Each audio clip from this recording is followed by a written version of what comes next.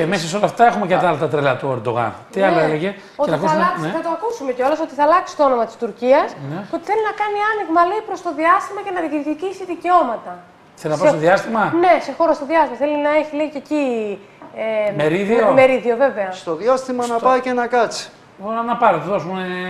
Άι στο διάστημα που λέμε. Πάει στο διάστημα. Πάντως τα λέει ο ίδιος. άι Δεν στο είναι δηλαδή ότι διάστημα. είναι. Τα λέει ο ίδιος. Τα λέει βέβαια, δεν είναι Συγγνώμη, φαντασιώσεις. ναι, ναι. Θέλει να πάει τώρα και στο διάστημα. Βέβαια, βέβαια. Ονειρόξεις. Για να ακούσουμε.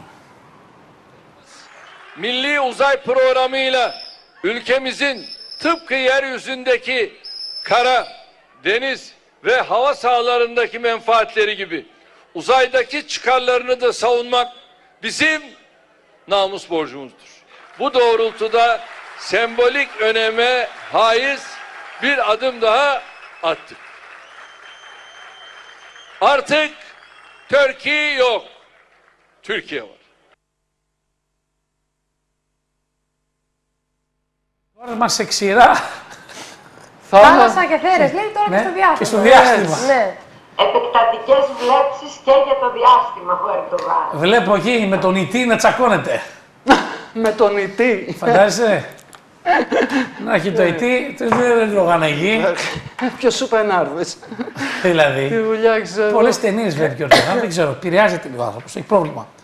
Φαίνεται να έχει πρόβλημα.